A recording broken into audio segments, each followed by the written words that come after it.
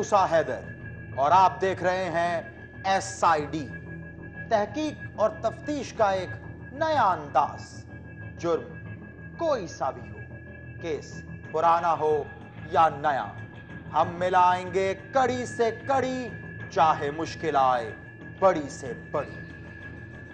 मिस्री शाह, लाहौर का ये इलाका आजकल मशहूर है कई हवालों से। यहाँ हैं बहुत से गैर कानूनी धंधे जारी और पुलिस को मतलूब हैं यहाँ के कई इश्तिहारी। इन्हीं इश्तिहारियों में एक है, अतीक उर्फ़ बिल्लू कन दूसरा अल्ताफ उर्फ़ ताफू पठान, और तीसरा जीशान उर्फ़ शानी।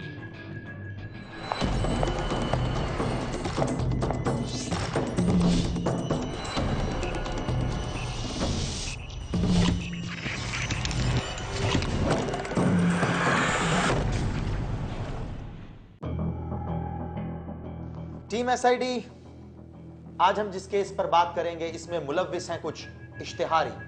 ये लोग पुलिस को पहले भी मतलूब थे और अब इनके साथ जुड़ गया है एक और केस मैंने रफी को इस केस की रिसर्च के लिए कहा था। रफी, आप प्लीज़ टीम को ब्रीफ करें कि कैसे शुरुआत हुई इस केस की? जिससे बज़ाहिर तो ये केस सीधा साधा है कि एक शख्स मिस्र का रिहायशी है एजाज भट्ट खासा कारोबारी खाता पीता आदमी है। वो मिस्र शाह थाने गया और उसने एक हादसे की रिपोर्ट दर्ज कराई। उस हादसे पे हमने एक रिपोर्ट बनाई है, जो हम पहले देख लेते हैं, ताकि हम क्लियर हो जाएँ कि असल में वो हादसा क्या था और कहानी कहाँ से शुरू हुई। मिस्री शाह लाहौर में वाक़ ये है घर, एक शरीफ कारोबारी आदमी एजाज भट्ट का। इस बच्चे का नाम है तलहा एजाज। तलहा एजाज की उम्र है पाँच साल। नवंबर 2011 की 29 तारीख। तलहा स्कूल से घर वापस आया। उसने अपना लिबास भी ना बदला और गली में निकल गया। वो आज देर तक खेलना चाहता था। गली में उसका एक दोस्त भी मौजूद था। अभी वो दोनों बातें कर ही रहे थे कि उनके करीब एक मोटरसाइकिल आकर रुका। उस पर दो आदमी सवार थे। जो शख्स मोटरसाइकिल पर आगे बैठा था, उसने तलहा से पूछा, बेटा, कैसे हो? और तुम्हारा बाप कहाँ है? तलहा ने कहा कि वो ठीक है और अभी स्कूल से आया है। उसने बताया कि उसका बाप घर पर नहीं है। इतने में पीछे बैठा हुआ शख्स मोटरसाइकिल से उतरा। उसने अचानक तलहा को पकड़ा और मुँह पर हाथ रख लिया। फिर वो फुर्ती से मोटरसाइकिल पर पीछे बैठ गया और वो हवा हो गए। तलहा एजाज को अगवा कर लिया गया था। थोड़ी ही देर बाद एजाज भट्ट को उसके मोबाइल पर एक कॉल मौसूल हुई। कॉल करने वाला कह रहा था, परेशान होने की ज़रूरत नहीं। हमने तुम्हारे बेटे तलहा को अगवा कर लिया है। तुम्हें सिर्फ़ सत्तर लाख का इंतज़ाम करना है। जितना जल्दी पैसों का इंतज़ाम हो जाएगा उतना ही तुम्हारे हक में बेहतर है। और काल कट गई। आप सबने ये रिपोर्ट देखी। क्या कहना है आप सबका? ये अचानक होने वाला हादसा है या एक सोचा समझा मंसूबा? सर अचानक तो शायद कुछ भी नहीं हो सकता। मेरे नज़दीक मोटरसाइकिल पर आने वाले दोनों अफराद एजाज भट्ट को अच्छी तरह से जानते थे।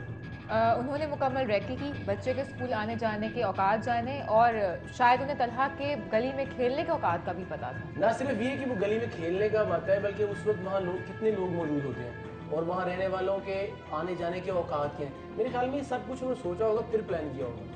जी सर, उसकी शायद वजह यह है कि मिस्र शाह एक गुंजान आबाद इलाका है, एक ऐसा इलाका है जहाँ थड़ा कल्चर अभी तक ज़िंदा है। लोग बाहर थड़ों पर बैठ के गपबाजी करते हैं, बूढ़े होकर पीते हैं। तो ये बात बहुत आसान नहीं है कि कोई आए और उचक कर बच्चे को उठाकर अपने साथ बिठाकर ले जाए। इसीलिए ये वारदात एक ऐसे शख्स ने की होगी जो इस इलाके वालों को जानता है और ख़ुद भी इस इलाके का रहायशी हो।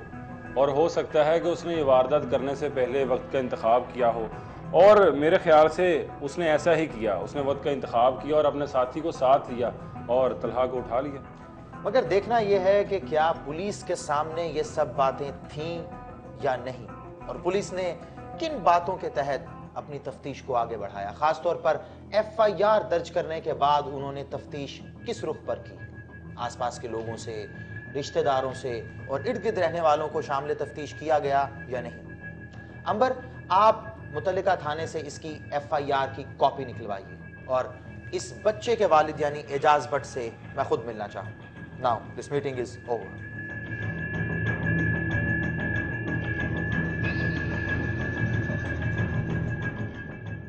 team member Amber Qureshi पहुँची थाना शुमाली छावनी और हासिल की एफआईआर।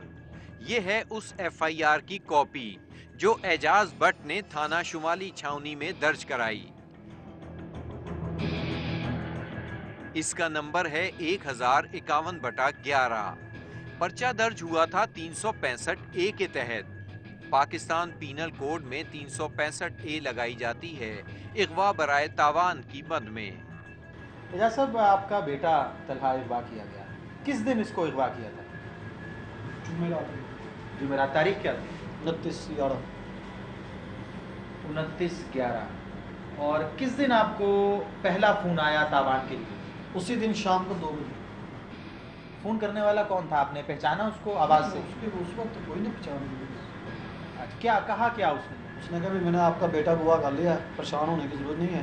बेटा आपका गुआ हो गया। अच्छा बेटा अगवा हो गया हाँ। परेशान होने की ज़रूरत नहीं। ढूँढने का फ़ायदा क्यों नहीं गुआ कर लिया हमने बेटा आपका। पैसों का बंदोबस्त करो। कितने? सत्तर लाख करो। सत्तर लाख मांगे फिर आपने क्या जवाब दिया? मैंने कहा भी इतने पैसे तो नहीं है। उसने कहा बस बता दिया ना बाकी सुबह फ़ोन करेंगे। फ़ोन फिर अगला फ़ोन कब आया? दूसरे दिन सुबह। अच्छा तो पहला फ़ोन आने के बाद आपने क्या पहला काम क्या किया आपने उसके बाद? सुबह वन फाइव पे फ़ोन थी कॉल थी मिसी साहब सब कुछ डीएसपी साहब सब आए पूछा उन्होंने हाँ भी क्या हुआ? उन्होंने कहा भाई ये काम हो गया। उसने आपको फ़ोन पे कहा नहीं डराया नहीं धमकाया नहीं कि पुलिस को ना बताना। कुछ भी नहीं कहा उसने मुझे। उसने बोले ये क्या भाई पैसों का बंदोबस्त करो बस। अच्छा। सुबह ये सत्तर लाख रुपए डिमांड है वो सत्तर पेटियाँ बंदोबस्त करो। मैं कहा इतने पैसे मेरे पास नहीं है। उसने कहा नहीं मैं बाकी ये, ये बात आपकी ठीक है। उसने सिर्फ़ पैसे मांगे हाँ। ये नहीं कहा कि पुलिस को ना बताना। उसने ऐसा कुछ नहीं कहा। सवाल नहीं किया अच्छा काफ़ी हैरत की बात है। पेशावर मुजरिम की तरफ़ से एक इस तरह की कमज़ोरी कि वो पैसे तो मांग रहा है, लेकिन धमका नहीं रहा पुलिस को बताने से। बस उसको पता था कि ये पैसे मिलेंगे। उसने पहला फ़ोन करने के बाद फ़ोन बंद हो गया। मैं सुकून से बैठ गया मुझे पता लगा भी भाई, काम बच्चा हुआ हो गया। ये नहीं कि कोई कहीं गया या कोई ले गया या वापस करेगा। उसने कहा, भाई, बाकी सुबह। सुबह फिर मुझे उसने फ़ोन किया। उसने कहा हाँ भाई, पैसे बंदोबस्त होया मैं कहा नहीं उन्हें कहा, मैं कहा, पहले मैनू पता लगे कि मेरा पुत्र तेरे को है कि ये नहीं हीगा उन्हें कहा, ठीक है तेन सबूत देने फिर एजाज के मोबाइल पर आई एक और कॉल।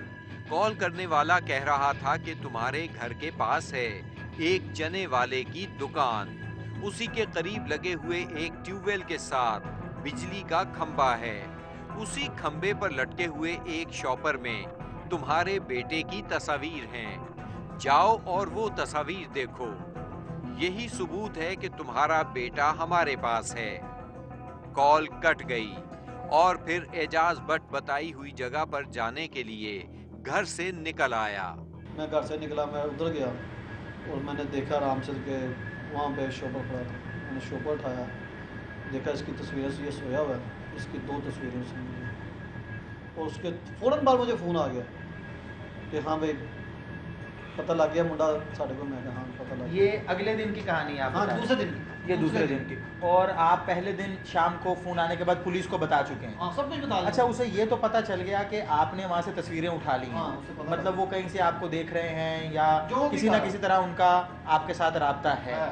लेकिन आपने पुलिस को बता दिया एक रात पहले। इसका उन्हें पता नहीं चला। सब कुछ पता उनको। उनको पता इस पता है। का भी कि आप पुलिस को बता उसको चुके पता है। सब कुछ क्योंकि पूरा मोहल्ला इकट्ठा हो गया मेरा नहीं आप मेरी बात नहीं। क्या उन्हें ये भी पता चल गया था कि आप पुलिस को बता हाँ उसको पता चल गया। तो उसने कुछ कहा नहीं? कुछ नहीं उसने कहा बस पैसों को बंदोबस्त करते जाओ। दूसरे दिन फिर फ़ोन आया हाँ भाई कितने पैसे? मैं कहा भाई इन्ने पैसे मैं नहीं दे सकता। उन्हें कहा फिर सोच लिया दूसरे दिन फ़ोन मैनू पहला फ़ोन मैंने उन्होंने किया शेहूपुरे फिर दूसरा फ़ोन आया मैनू साहिवाल तो। तीसरा फ़ोन उन्होंने मैंने किया पशोर तो। इस तरह करके तीसरा जो फ़ोन पशोर तो करके फिर फ़ोन बंद हो गए ना। ਫਿਰ ਤੀਸਰੇ ਦਿਨ ਇਹਨਾਂ ਨੇ ਮੈਂ ਉਸ ਦਿਨ ਇੱਕ ਫੋਨ ਕਰਨ ਤੋਂ ਬਾਅਦ ਸਕੂਨ ਨਾਲ ਬੈਠ ਗਏ ਤੀਸਰੇ ਦਿਨ ਇਹਨਾਂ ਨੇ ਮੈਨੂੰ ਫੋਨ ਕੀਤਾ ਹਾਂ ਬਈ ਕੀ ਕੀਤਾ ਪੈਸੇ ਦਾ ਮੈਂ ਕਿਹਾ ਯਾਰ ਮੈਂ ਇੰਨੇ ਪੈਸੇ ਨਹੀਂ ਦੇ ਸਕਦਾ टीम मेंबर अली ख्वाजा और उमर मलिक पहुंचे उस जगह पर जहां अगवाकारों ने मगवी तलहा एजाज की तस्वीर लटकाई थी ये वही बिजली का खंबा है और इसके साथ मौजूद ये है वो ट्यूबवेल यहाँ एक शॉपिंग बैग में तस्वीर लटकाकर अगवाकार यकीनन किसी करीबी जगह से देख रहे थे कि एजाज भट्ट ने तस्वीर हासिल कर ली हैं। दोनों टीम मेंबरान का ख्याल था कि अगवाकार किसी मकान की खिड़की से ये मंजर देख रहे होंगे। अगर ऐसा था तो वो यकीनन इसी इलाके के रिहायशी थे और बरसों से एजाज भट्ट को जानते भी होंगे और मेलजोल भी रखते होंगे।